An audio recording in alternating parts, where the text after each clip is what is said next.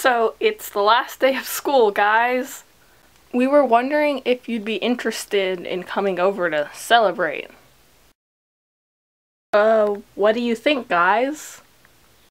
Sure, it sounds like it'd be pretty fun. We have to set up when we get home, so how about tonight at like 5 o'clock? Sounds good. We'll see you then. We really need to make sure we set a good impression. I know, we really need their help.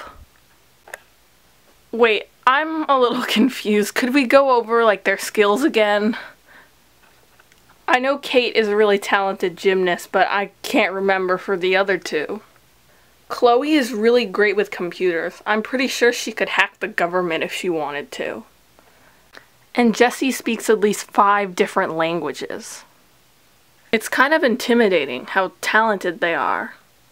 Eliza, you can travel through time, and I grew up in the 1950s. Yeah, Eliza, I'm the one who doesn't really have any sort of special talent.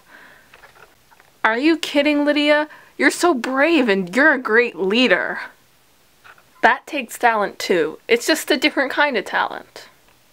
I really hope everything goes smoothly tonight. It's taken us almost the entire school year to befriend these girls. Don't make it sound like we only like them because they're talented people. They're our friends too.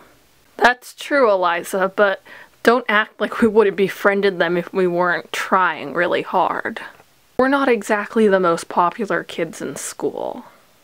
Yeah, you two were new, moving here and all, and I am kind of awkward since I have not fully gotten accustomed to living in this time period. Guys, I think class is about to start. We better get going.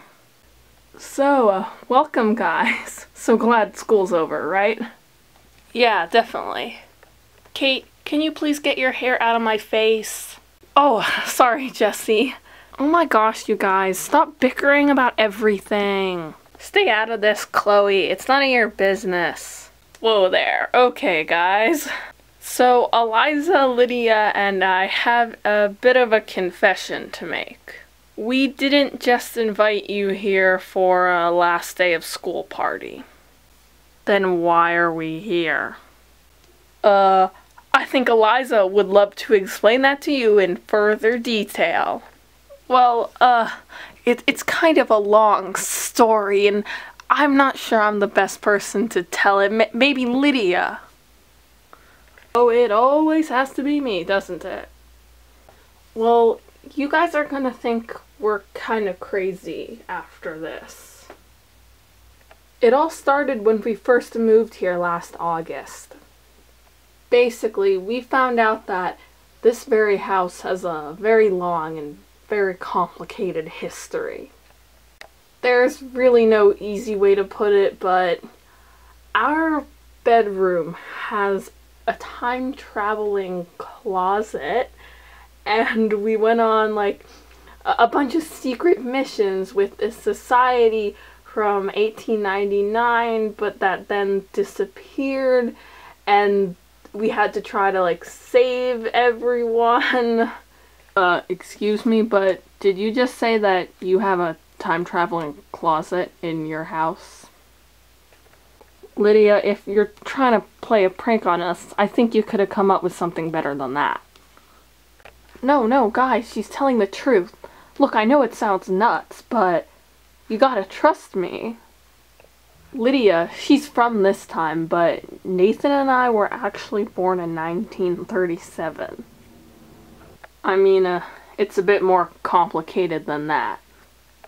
Look, you guys are nice and all, great friends, but uh, I think I have to get going. Yeah, me too. Guys, just give us a chance. We can prove it to you. What was that noise? I think it came from the kitchen. I'll go take a look. This vase fell. Thankfully it didn't break. That's rather odd. But please, please guys, just give us a chance to explain. Sure, why not? Jessie, what are you doing? Come on, guys. They're our friends. There's no harm in just going to look at this apparently time-traveling closet. Huh, I guess you have a point. We'll come take a look, but just real quick. Thank you so much, guys. I promise we won't let you down. Well, this is it. This is the closet. So, how do you plan on proving that this closet can travel through time? I'm going to go back in time and drop this picture. This thing was packed away all neatly in the cupboard, yet it somehow fell. The answer? I dropped it. No offense, but going into the closet doesn't really prove anything. Oh, but just wait.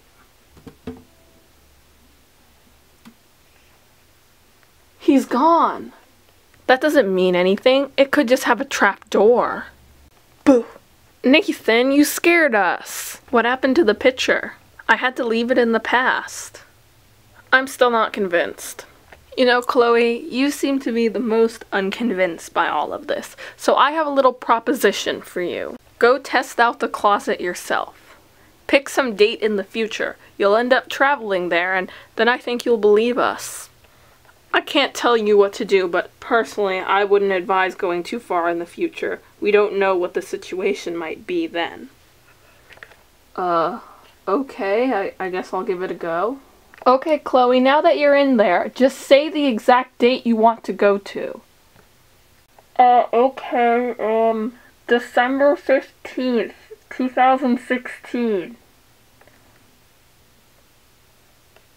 Everything looks the same, but where did everyone go? Hello? Hello? Is anyone here? Oh, it's December 15th already, isn't it? I'd kinda lost track of the days, but I remember this. Who are you? Chloe, I'm you from the future.